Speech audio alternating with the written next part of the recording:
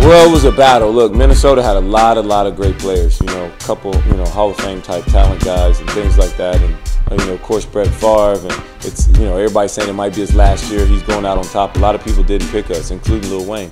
So um, he's a big Brett Favre fan. That was his excuse. But uh, I'll never forget that when he said that. And so we go into this game, it's battling, and you know we had to get four or five turnovers, which is what we pride ourselves on on defense that year, just to be able to stay in the game. And uh, you know they're definitely down there. They're driving. It's Brett Favre. We're trying to make some plays defensively. He's just you know slowly but surely driving those guys down the field.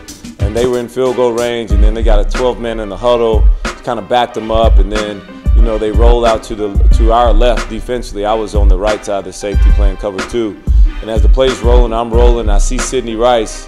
So I'm starting to break down in front because there's no way he's supposed to throw that ball all the way back across the field like that. And luckily, Tracy was just paying attention and just as a, the cover two corner just rolled right up under and hit him right in the chest.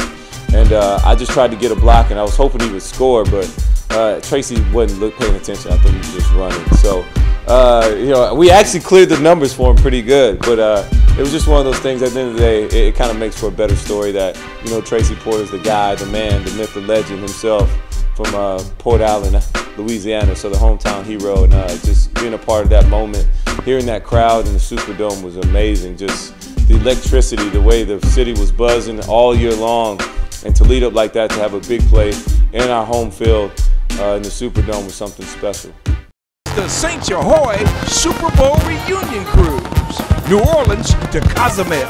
Call 504 433 3335